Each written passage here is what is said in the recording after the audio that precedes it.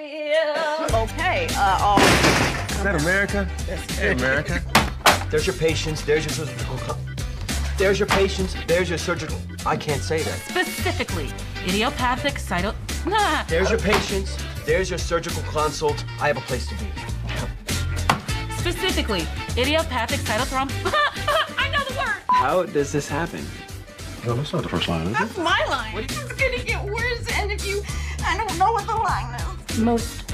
Oh, I'm sorry. If you stay here, I'm just, I'm gonna die of, because if you stay here and wait until I, oh. I don't care. You're the director of admissions. You're not the director of admissions. Not the middle. I don't really care. You're the director of. You are the director of. What are you? I'm saying you wouldn't have been late if if, if you Keith asked if we left. Yeah, we do need the car. anyway. Keith was asking. Keith was asking about her as soon as he woke up. Ah. Ah.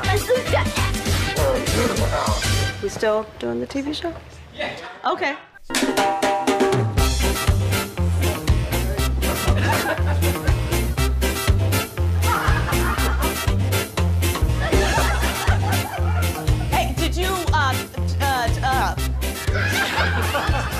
You really think a resident does a C-section in the middle of a hallway and everyone just forgets about it? He knows. I'm sorry. Which way? You see that? and Warren, What? I don't know. What? We had sex four times in the back of her car. No, we did. It was fantastic. I was tired No, after and then- three. And then she's like, all right, one more time. I'm like, really? I'm like, yeah. Please find a black nurse to come do my hair. I can do it. Thank you. Ritual. You hired Lee. Leland.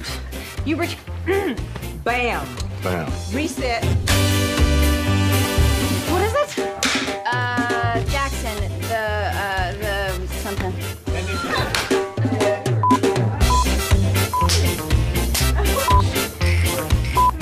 TV drama here, gentlemen.